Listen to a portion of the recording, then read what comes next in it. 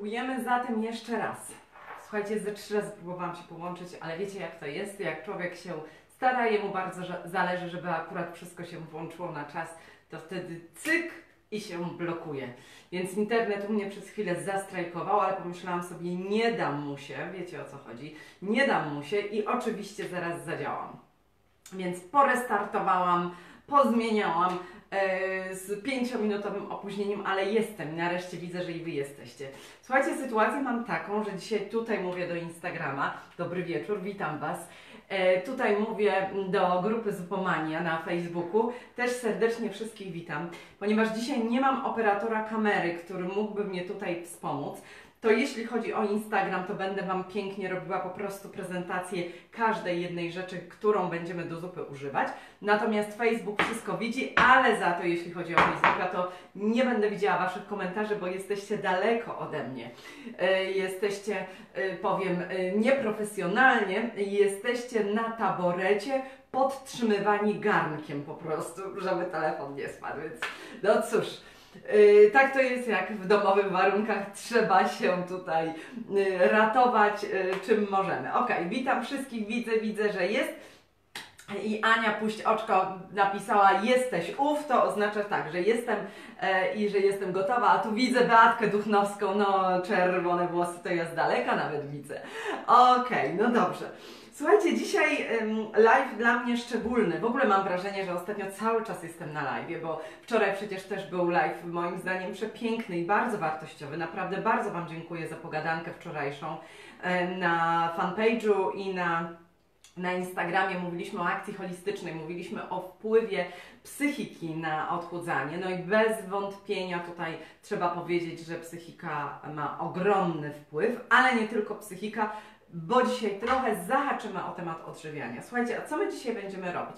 No dzisiaj będziemy łączyć dwie e, dla mnie e, ważne i fajne zarazem rzeczy. Więc tak, po pierwsze, będziemy razem gotować. Dawno nie było wspólnego gotowania, przyznacie, więc czas najwyższy po prostu do garów. Dzisiaj e, będę miała dla Was szybką zupę i myślę, że trochę Was też zaskoczę tą zupą, dlatego że ma jeden ze składników taki, który dosyć rzadko występuje w zupach, a to błąd, dużo osób się obawia go używać. E, Zaraz oczywiście e, wszystko Wam po kolei opowiem. Mam nadzieję, że Wy też już macie e, przyszykowane składniki, które były też podawane w newsletterze, więc wierzę w to, że, e, że też e, będziecie tutaj i nie sama będę gotować. E, To jest jedna rzecz, a druga rzecz, no więc właśnie gotując tą zupę, a ta zupa będzie wege, e, przy okazji będę chciała Wam powiedzieć parę słów na temat e, w ogóle trendu wege i o, myślałam, że się wyłączył, tego nie widać, za moimi plecami stoi tablet i tutaj jest też Pokażę Wam, pokażę Wam, pokażę Wam.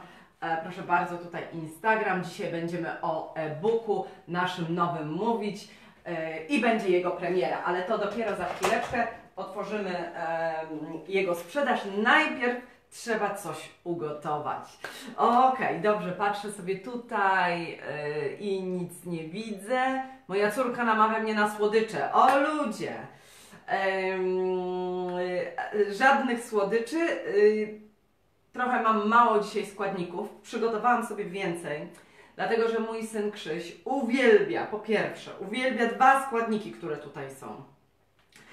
Uwielbia ogórki, surowe, takie normalne, gruntowe nasze ogórki. Y, I przepraszam, ale widać, kto tutaj mi wyjadł.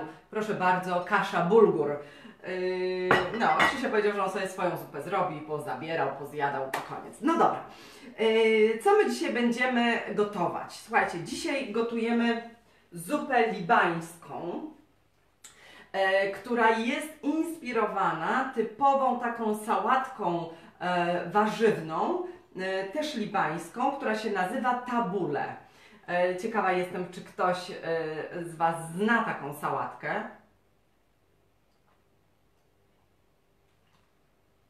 Dobry wieczór, dobry wieczór. Widzicie, nie widzę, jesteście tak daleko, że nie widzę Waszych komentarzy. Okej. E, Sałatka warzywna tabule.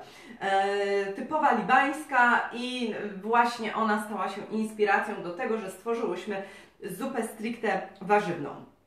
Co my potrzebujemy do tej, y, do tej sałatki? Więc tak, po pierwsze, tak jak już Wam tutaj pokazałam, to jest tutaj już przeze mnie wcześniej ugotowana i przez Krzysia trochę zjedzona kasza bulgur. Tej kaszy dałam około e, 200 gram. 20 deko kaszy bulgur ugotowałam zgodnie z przepisem na opakowaniu. Ja akurat lubię taką, żeby wyszła taka sypka. Nie jestem zwolenniczką takich, wiecie, poklejonych, czy to ryżu, czy to kaszy. Wolę takie al dente. My wiemy przecież, że ma to dla nas duże znaczenie, żeby składniki e, u nas były al dente, więc za chwilę też dwa słowa Wam opowiem o tej kaszy, która jest bardzo, um, moim zdaniem jedna z najważniejszych kasz w ogóle, które są, które są dostępne. Trzeba pamiętać też, że ma naprawdę bardzo dużo, jeśli chodzi o zawartość e, składników odżywczych. Mam tutaj na myśli na przykład fosfor, potas, to jest to, co w kaszy e, bulgur będzie. Mm, absolutnie moja ulubiona. Ten, kto mnie obserwuje na Instagramie, ten wie, że ja zazwyczaj jak gotuję kaszę, to właśnie pojawia się tu kasza bulgur, więc ym, mamy kaszę, wcześniej ugotowałam. Tutaj mam garnek, bardzo proszę. W tym garnku na razie nie mam nic oprócz 3 litrów wody, więc 3 litry wody sobie już wstawiłam. Tutaj mi się już powolutku zaczyna to gotować. Co dalej do składników? Dla tych, którzy mm, jeszcze nie, y, nie zdążyli albo nie otrzymali newslettera, nie są zapisani, albo e, jeszcze nie przygotowywali mm, nam tutaj mm, składników do tej zupy, to co tu mamy? Mamy tutaj, przyszykowałam sobie, tu są cztery średniej wielkości pomidory. Ja je po prostu sobie pokroiłam w taką dosyć drobną kosteczkę przynajmniej starałam się, więc tutaj mamy e, cztery pokrojone pomidory. Tutaj właśnie mamy e, świeżego ogórka pokrojonego w kostkę i to o tym ogórku myślałam, mówiąc, że nie wszyscy są na tyle odważni, żeby wykorzystywać to warzywo e, w w, w zupach. Dzisiaj, słuchajcie, też słuchałam takiej audycji, gdzie podawano e, dwa, mm, mówiono o owocach, co jedzą zazwyczaj Polacy, co teraz zazwyczaj kupują, no i w ogóle a propos warzyw, jakie są mm, dwa najbardziej popularne wśród Polaków warzywa. No i ciekawa jestem, tutaj woda mi się gotuje, a ja ciekawa jestem, czy Wy zgadniecie, czy Wy powiecie mi dwa najbardziej popularne warzywa wśród Polaków, przynajmniej dzisiaj radio tak podało, więc czekam na odpowiedzi. Przepraszam, tak się nachylam, dlatego że mam daleko ten telefon, więc tu jeszcze nie ma żadnych odpowiedzi. Jakie są najbardziej mm, popularne wśród Polaków? Dwa warzywa. Co najczęściej jemy? Nie jako zupomaniacy, bo u nas w ogóle żadne statystyki moim zdaniem e, nie są trafne, bo my w ogóle łamiemy wszystko, e, jeśli chodzi o statystyki e, warzywno-owocowe. Mm, mm, mm, tu nie mam. Ogórki i pomidory. Ogórek i pomidor. Yy, świeży ogórek jest w zupie jeszcze dalej. Zielony ogórek i pomidor. Pomidor i ogórek. Ogórek i pomidor. Ok, a tu tutaj też. E, ziemniak i marchewka, ogórek i kapusta, ziemniaki i pomidory. Joanna Woźniak, chyba słucha, słuchałaś tą samą audycję co ja. Rzeczywiście podano, że ziemniak i pomidory. O ogórkach e, nic nie mówiono, natomiast u mnie w domu zawsze są ogórki, dlatego że to jest e, warzywo, które moje dzieci uwielbiają. Po prostu go sobie szybciutko biorą kawałeczek i, i podgryzają, więc jak podjadają, to właśnie staramy się, żeby to były ogórki. Ok, kasza jest ugotowana. W garnku mamy 3 litry wody. Teraz tak. Wzięłam 6 ząbków czosnku i przecisnęłam przez praskę. Tutaj mam przygotowane 6 ząbków czosnku. Widzicie? Widzicie? Ok, 6 ząbków czosnku. Mm.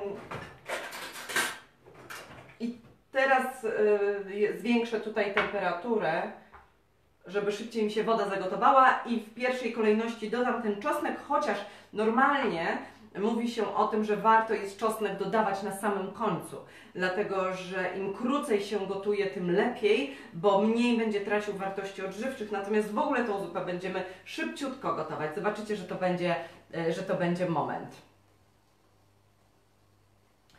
Ok, już za chwileczkę woda mi się tutaj ugotuje. Rach, ciach, ciach, rach, ciach, ciach, rach, ciach, ciach. E, pietruszka, marchew. Ile tych ogórków? E, jest pytanie mm, od Any. E, ile tych ogórków? Tutaj wzięłam dwa średnie ogórki. To są mniej więcej dwa średnie ogórki przygotowane. Co wy tu jeszcze obstawiacie, że marchewka, ziemniak i kapusta, nie? Ziemniak i Magdalena. Tak, już powiedziałam, a propos ogórków. Już za chwilę będę mówić wszystko po kolei. Na razie 3 litry wody. I do tej wody będę dawała w pierwszej kolejności czosnek e, i zaraz pokrojone pomidorki. Proszę bardzo. Okej, okej. Przy okazji tutaj czekając, aż, y, albo na, już mogę nakładać w zasadzie, e, muszę Wam powiedzieć, że mm, ja y, będę dzisiaj Wam mówić o wege, ale ja nie jestem osobą, która unika mięsa. Y, To od razu y, przyznaję, natomiast powiem Wam, że bardzo często, ciekawa jestem, czy Wy też macie tak u siebie, teraz dodaję te pomidory do, do tej wody, y, że e, mam takie, mm, takie okresy, takie tygodnie, gdzie z dużą chęcią unikam mięsa. To znaczy, y, y, jem na przykład zupy na wywarze mięsnym, natomiast mało sięgam po wędlinę, nie mam ochoty na żadne mięsa typu y, na przykład pieczone czy duszone. W ogóle staram się wtedy unikać i nie wynika to nie wynika to w ogóle z mojego przekonania, yy, tylko wynika to po prostu z tego, że mam takie wrażenie, że mój organizm w ogóle nie, mm, nie potrzebuje w tym czasie mięsa. To znaczy, jak ja pomyślę sobie o mięsie, to po prostu y, to po prostu y, zdecydowanie mówię nie. Y, Ale na przykład y, wczoraj miałam taki dzień, słuchajcie, jak mi się wczoraj chciało kapusty kiszonej. No po prostu mi się chciało kapusty kiszonej i rzeczywiście y, jadłam ją z białym serem. Y, Dlaczego o tym mówię? Dlatego, że organizm przepięknie podpowiada nam to, na co my mamy ochotę, to, co potrzebujemy, to, czego mu potrzeba. Widocznie akurat mój domagał się, e, potrzebował czegoś, co było wczoraj w kapuście kiszonej. Ok, dobrze. Dałam ym, pomidory, było tych pomidorów 4 i 6 ząbków e, czosnku. Dalej piszę, że, patrzę tutaj na przepis, żebym nic nie pominęła. E, ogórki e, obrałam i pokroiłam w drobną kostkę i teraz będę wrzucać te ogórki, proszę bardzo.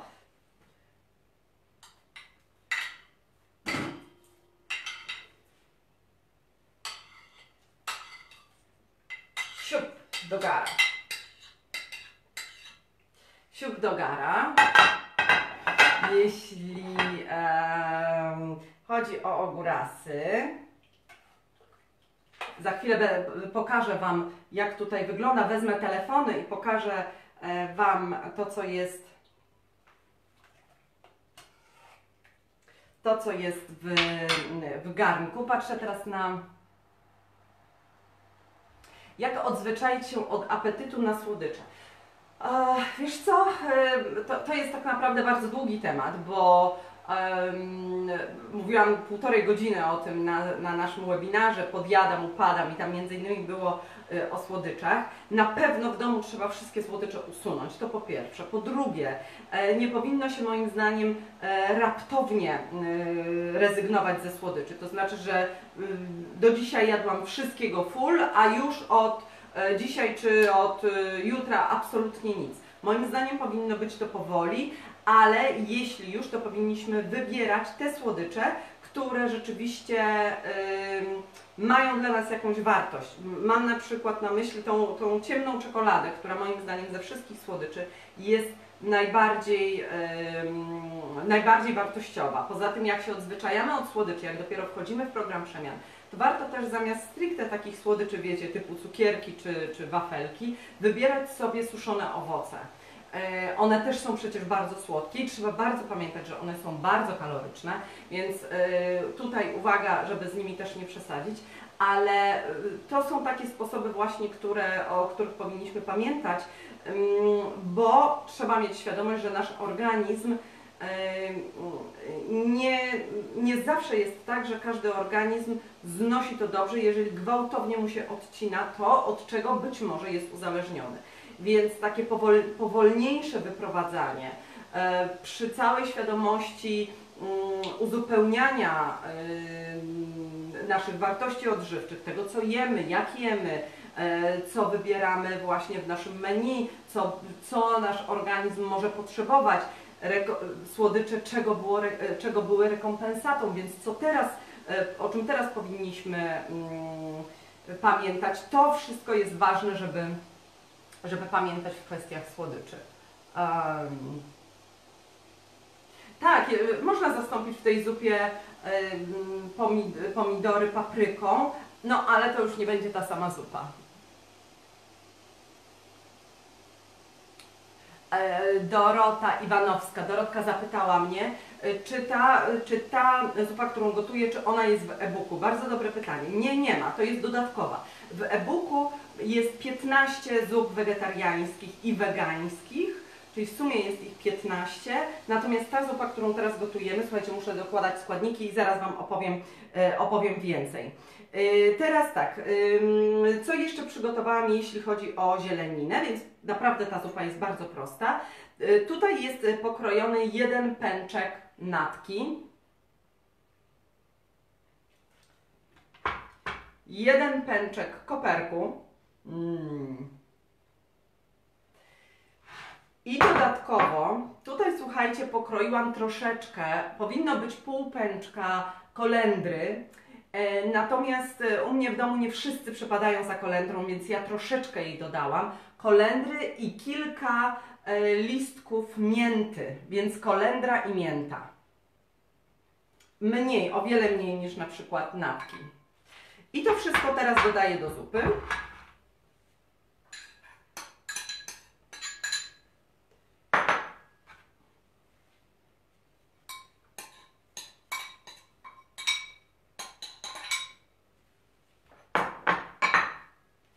I teraz, czyli mamy pęczek natki, pęczek koperku. Okej. Do tego dodam oliwę. E, Ze cztery łyżki mam oliwę z oliwek.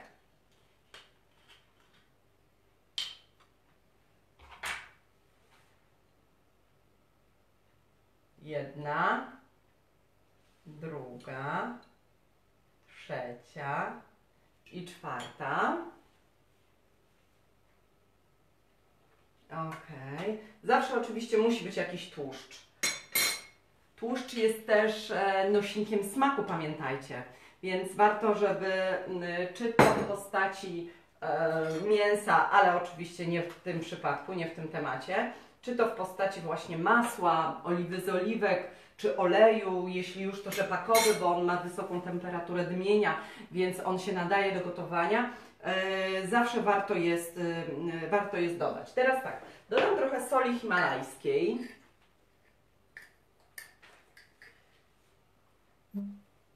Myślę, że ze dwie łyżeczki na razie to będzie ok. I czarnego pieprzu. Mam czarny pieprz w słoiczkach. Eee,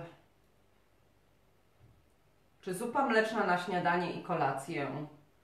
Eee, ale o co pytasz? O drugi etap? O co pytasz? To jest zupa, słuchajcie, która się em, bardzo szybko gotuje. I teraz tak, można e, dodatkowo jeszcze wycisnąć sok z cytryny, z połowy cytryny. E, To jest jako dodatek, to nie jest typowe też dla tej sałatki, że zawsze się dodaje ten sok z cytryny. Natomiast ja bardzo lubię e, cytrynę, więc oczywiście z miłą chęcią dodam.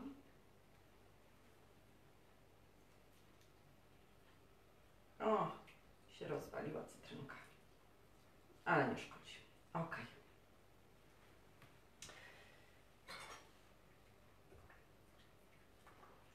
I tak naprawdę za chwilę dorzucę dorzucę za chwilkę kaszę i będę próbować. Mm. Próbuję odczytać komentarze, przepraszam, ale muszę się trochę pochylić. E, Pani Moniko, naprawdę ta zupa będzie smakować bardzo. E, tak, cudowna ceramika Bolesławca. Okej, okay, okej. Okay. Przepraszam, ale naprawdę nie, nie widzę um, i nie widzę e, komentarzy. Ile tego pieprzu do smaku?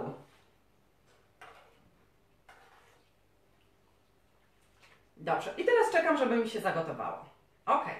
E, w międzyczasie opowiem Wam, łączę, bo widzę, że tu mi się rozłączyło.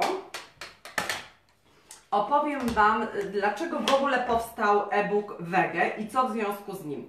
E-book Wege powstał e, głównie dlatego, że bardzo wiele osób pytało po prostu o zupy wege. Pytało, czy planujemy, czy osoby, które nie jedzą mięsa, czy to z przekonań religijnych, czy to z swojej życiowej filozofii, czy z jakichś zdrowotnych e, przekonań, czy znajdą też u, nas w, w w programie Przemian, czy znajdą jakieś alternatywy też dla siebie. Więc e, oczywiście tak, mamy, mamy trochę zup też w naszych książkach, które są wege, ale pomyślałyśmy sobie z moimi dziewczynami, że stworzymy e, się rozładował, e, że stworzymy tak naprawdę e, taki materiał, taki podręcznik powiedzmy sobie, podstaw, E, właśnie dla osób, które e, być może zastanawiają się nad tym, czy przejść na wegetarianizm. Czym się różnią różne odmiany diet bezmięsnych? W naszym tym e-booku odpowiedziałyśmy też na wiele pytań takich, które bardzo często osoby zadają w momencie, kiedy szukają właśnie odpowiedzi na to, czy będzie dla mnie dobre, czy będzie wskazane, czy jest dla mnie bezpieczne, e, czy poradzę sobie z, z różnorodnością chociażby, jeśli zdecyduję się na to, aby unikać mięsa w swojej diecie. Poruszyłyśmy też w e-booku temat e, ewentualnych zagrożeń. Jakie są zagrożenia, o czym trzeba wiedzieć, czego trzeba mieć świadomość, jeśli chodzi o dietę e, wegetariańską, żeby był komplet informacji, na podstawie którego możemy podjąć decyzję, czy rzeczywiście trend wege jest dla nas, czy też nie. Omówiłyśmy bardzo wiele rodzajów diet bezmięsnych po to, żeby pokazać Wam, a jestem przekonana, że nawet y, o niektórych część z Was nie słyszała, jeśli się nie interesuje tą tematyką, bo ja y, teraz y, szukając różnych informacji na ten temat, niekiedy byłam zaskoczona. Więc mm, zupa się tutaj gotuje, zaraz będę ją próbować i chcę Wam pokazać,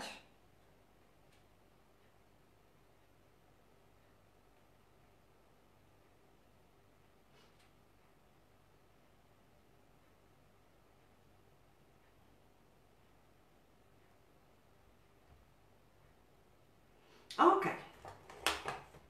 E-book nazywa się Odchudzające zupy wegetariańskie, e, ale tak jak powiedziałam, są e, też tam przepisy na zupy wegańskie. E, ma ponad 50 stron. W pierwszej części tu się widzę, że odbija i chyba Instagram nic nie widzi. I Wy chyba też nic nie widzicie tam, myślę.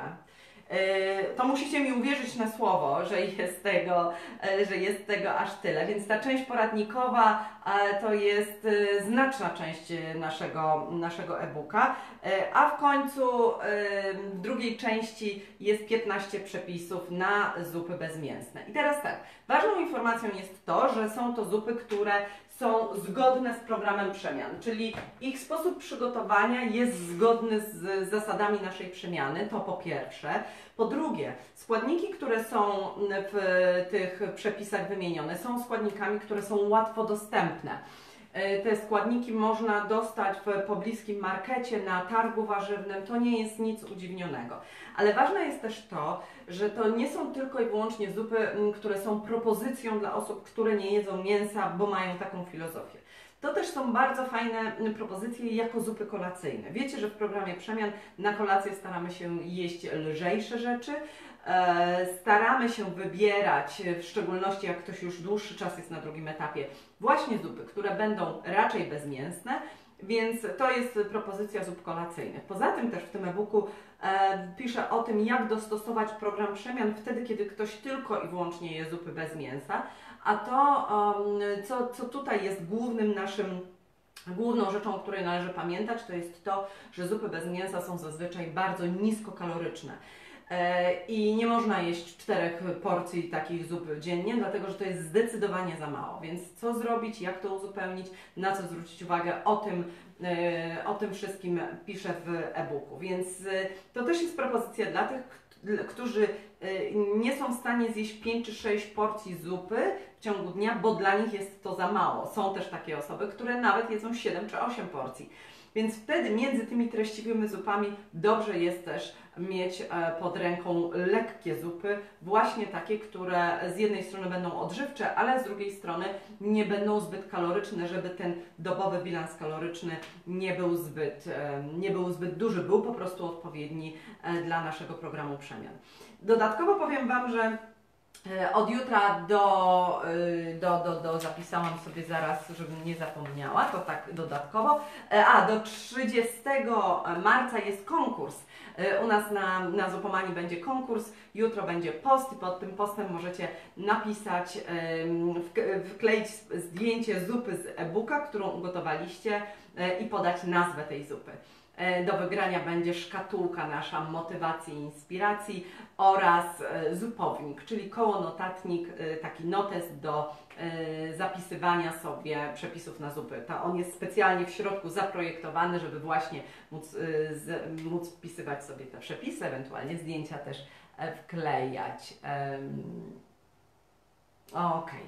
Okay. No dobrze, słuchajcie, to ja w takim razie nakładam sobie teraz zupę, żeby Wam pokazać, jak ona będzie wyglądać, jak ona będzie smakować. Tą kaszę już nałożę bezpośrednio y, na talerz.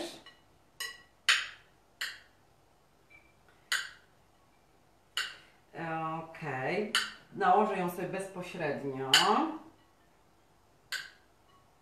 Dobra, kasza jest. Proszę bardzo, kasza jest na talerzu. Kasza jest na talerzu. Mm.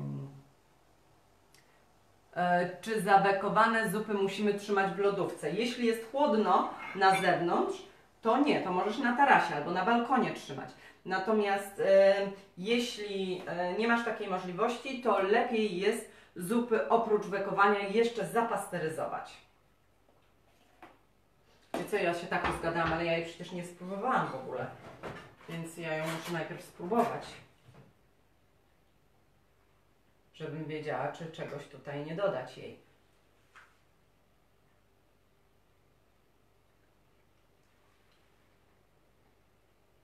Mm, zupa nazywa się libańska. Mam pytanie, jaka kasza? Kasza bulgur?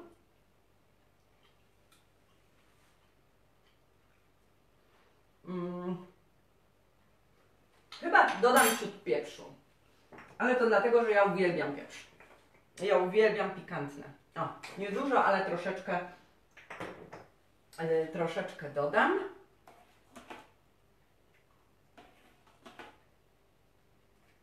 Okej. Okay. Ok, więc jak widzicie, zupa rachcia chciała się gotowała. Jeśli ktoś na przykład y, lubi mieć um, koncentrat warzywny, który sam może zrobić, to, to bardzo Was zachęcam, bo to wtedy naprawdę wystarczy kilka warzyw później sobie wkroić albo właśnie kaszę dać, cokolwiek e, i już jest zupa wtedy, wtedy gotowa.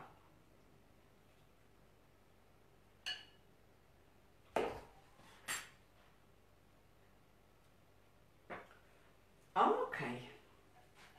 Okay. Ok, moja zupa już jest gotowa.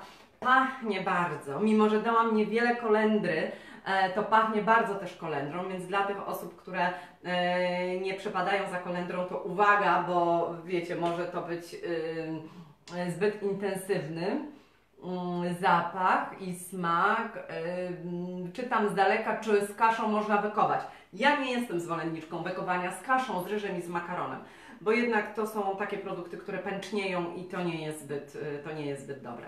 Mm, potem trzeba po prostu dolewać jakiegoś wywaru swojego, warzywnego w tym przypadku. No dobrze, słuchajcie, to teraz tak. E, jeśli chodzi o, o e-booka, on również wchodzi w naszą promocję. Jak wiecie, do końca tego tygodnia mamy prawie na wszystkie, nie na wszystkie, ale na dużo rzeczy mamy do, do minus 70% promocji. i ten e-book również wchodzi w tą promocję, więc on zapewne już jest teraz włączony, odpalony na naszej stronie internetowej, w naszym sklepie, pewnie zaraz dziewczyny e, do, dodadzą link. Yy, I życzę Wam też oczywiście smacznego. E, co do tej, tej promocji, to też dostęp, udział w, naszej, mm, w naszym projekcie razem przez drugi i trzeci etap jest również objęty tą promocją, e, a już pod koniec tego miesiąca będziemy prowadzić zapisy na kolejny, kolejny miesiąc tego projektu. I będziemy mieć dla Was też niespodziankę, jeśli chodzi o konsultacje, bo wiem, że dużo osób pyta teraz, w szczególności kiedy jesteście w domu i w szczególności kiedy brakuje Wam e, takiej, e, takiego rytmu dnia e, i gdzieś tam zaczynają e, wchodzić trochę rutyny, trochę nudy, podjadania, to wiem, że temat konsultacji jest tutaj e, bardzo często poruszany. I na to też y, znalazłam rozwiązanie, żeby nie trzeba było czekać dwa czy trzy tygodnie, tak jak, y, tak jak na obecną chwilę y, trzeba czekać. Więc to wszystko jest to, co y, mamy dla Was przygotowane. Bardzo będę ciekawa. Jak, jeśli chodzi o cenę e-booka, bo widzę, e-book normalnie kosztuje 26 zł, a w promocji 22, więc myślę, że jest ta promocja super, już skorzystałam. No to super. Słuchajcie, ta zupa mi tak pachnie, że ja oczywiście muszę, yy, pozwolicie, prawda, że pozwolicie, że nie, nie macie nic przeciwko, że Wy będziecie patrzeć, jak będę sobie jeść. Mm. Okej. Okay. Gotowany ogórek, gotowany pomidor. Pomidor jest oczywiście bardzo znany, często spotykany, ale gotowany ogórek Mmm, mmm. Bardzo, bardzo dobra. Aromatyczna. Mm. Proszę bardzo. Proszę bardzo. Czy można zamówić y, dostęp do grupy? No. Można, można wykupić dostęp do tego projektu razem przez drugi trzeci etap na miesiąc albo na trzy miesiące. Nie widziałam do końca pytania. Ok, słuchajcie. No to co? To ja będę czekała mm, na informacje od Was, e, którą zupę z e-booka ugotowaliście e, i zapraszam Was do wzięcia udziału w konkursie. Czy jeszcze coś chciałam Wam powiedzieć? A i bardzo dziękuję. E, Instagram w szczególności, bo tutaj mogę sobie każdego dnia, czy prawie każdego dnia poopowiadać, co u mnie słychać. Bardzo Wam dziękuję. Słuchajcie, że mnie dopingujecie z e, audiobookiem, bo nie wiem, czy, czy wiecie, ale nagrywam audiobooka z książki Waga psychiki w odchudzaniu i już połowa jest nagrane. Dzisiaj niestety ani wczoraj nie miałam możliwości nagrywać, ale wiecie, mnie takie dopingowanie bardzo mobilizuje do działania, więc jak piszecie do mnie i pytacie, no i jak tam, i jak tam, i na której jesteś stronie, no to ja po prostu próbam. Bardzo Wam dziękuję. No dobra, no to co? Co to za zupka? Yy, zupka libańska, ugotowana jako inspiracja do e-booka Wege, chociaż to nie jest zupa z e-booka, więc to jest jako dodatkowa, 16 może być. Bardzo Wam dziękuję. E, dopingujemy, bardzo dziękuję. Mm, słuchajcie, bardzo Wam e, jestem wdzięczna za to, że zechcieliście na dzisiejszy live przyjść i razem ze mną tutaj pobyć.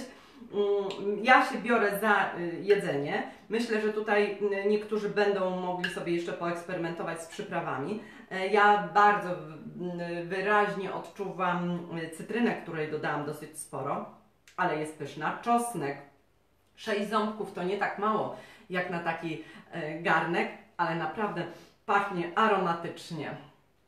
Posz, czy pomidory z puszki mogą być? Tak, jeśli nie masz innych pomidorów, to jasne, to nie będą z puszki. Ja akurat dzisiaj e, tak się złożyło, że byłam na zakupach, więc e, kupiłam i sama e, pokroiłam. Dobra, żegnam się z Wami. Wszystkiego dobrego e, życzę. A, nie widzę, słuchajcie, tych komentarzy. Zaraz poczytam. E, ściskam Was bardzo. Wszystkiego dobrego i miłego gotowania Wam życzę. To tutaj Facebook, a tutaj żegnam się z Wami.